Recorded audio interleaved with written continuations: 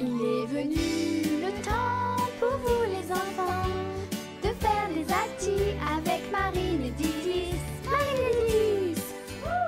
Bonjour à tous, on se retrouve aujourd'hui pour une nouvelle activité. Alors on vous a préparé un quiz sur le printemps. Est-ce que vous êtes prêts? C'est parti! Alors, première question, le printemps commence à quelle date? Le 4 juillet? Le 25 mai? Le 3 décembre? Ou le 20 mars? Vous avez 10 secondes.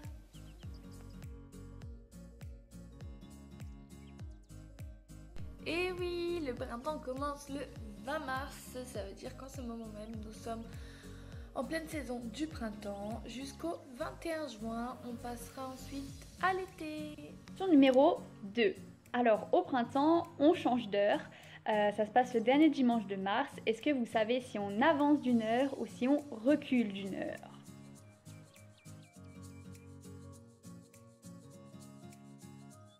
Au changement d'heure, on avance d'une heure, c'est-à-dire qu'à 2 heures, il est 3 heures.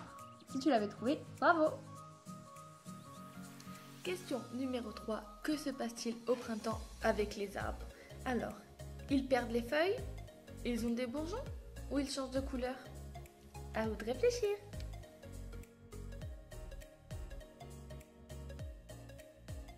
Et la bonne réponse c'était ils ont des bourgeons évidemment. Ils perdent leurs feuilles plutôt à l'automne et ils changent de couleur. euh, pas tellement. Voilà, c'était la réponse de numéro 4. Est-ce que vous savez comment on nomme les bébés des lapins? Est-ce que ce sont les lapros? Est-ce que ce sont les lapinous? Ou est-ce que ce sont les lapinets? Vous avez quelques secondes pour répondre.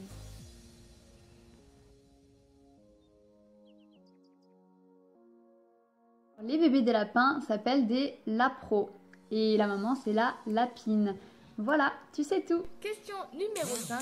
Quels animaux sortent d'hibernation au printemps? Alors, le hérisson, le chien ou la marmotte?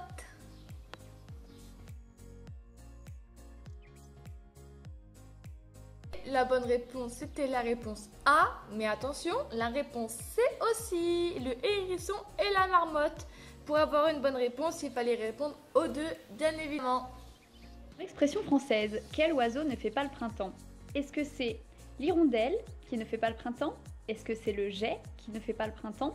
Ou est-ce que c'est le rouge-gorge qui ne fait pas le printemps? Alors, à votre avis?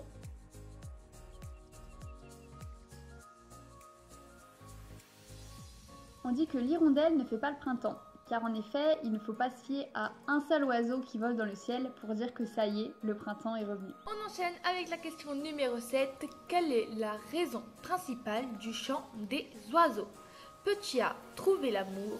Petit B, s'amuser. Et petit C, faire du bruit. Allez, c'est à vous.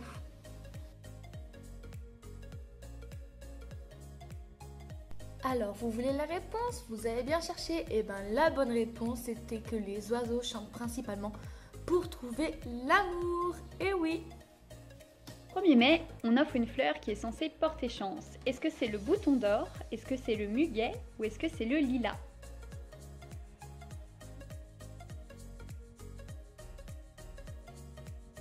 La bonne réponse était le muguet. On offre du muguet pour porter bonheur le 1er mai.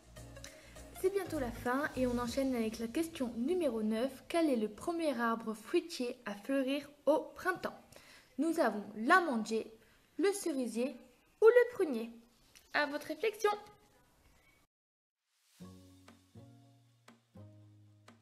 Et la bonne réponse était évidemment l'amandier, l'arbre qui produit des amandes.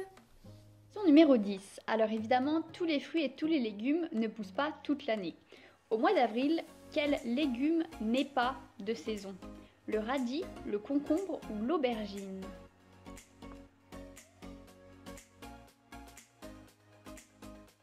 C'est l'aubergine qui n'est pas un légume d'avril.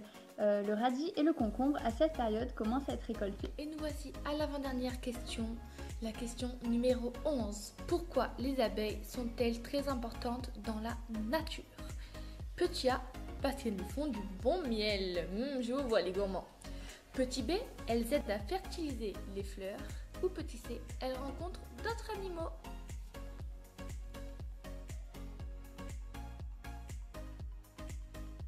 Et la bonne réponse, ce n'était pas nous faire du bon miel. Alors oui, elles nous servent à faire du bon miel, mais en premier lieu, elles nous aident surtout à fertiliser les fleurs.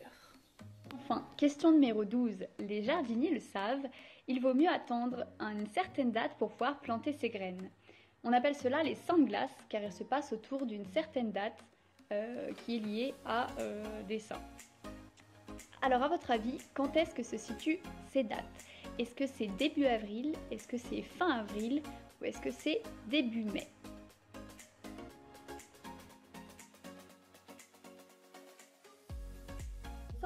Ont lieu début mai, plus précisément en fait entre le 11 et le 13 mai.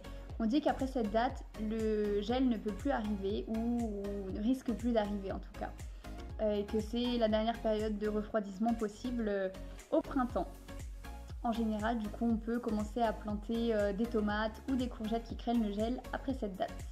Voilà pour aujourd'hui. Alors on espère que ça vous a plu, que vous avez eu un maximum de bonnes réponses. N'hésitez pas à nous donner votre petite note en commentaire. Donc il y a 12 questions. Dites-nous votre petite note voilà, sur 12. Faites-le partager à vos amis, comparez vos connaissances. Et puis pour ceux qui ont eu moins de bonnes réponses, on espère que vous avez appris des choses. Euh, voilà, pour la semaine prochaine. Et puis pour quand vous voulez, on vous invite à faire un dessin solidaire et à nous l'envoyer à l'adresse accueil.espacevictorhugo.org et on le partagera auprès de la DIMC 74 Le Goéland à Métais et de l'EHPAD La Bartavel. Voilà, on attend euh, vos dessins et on vous dit à très bientôt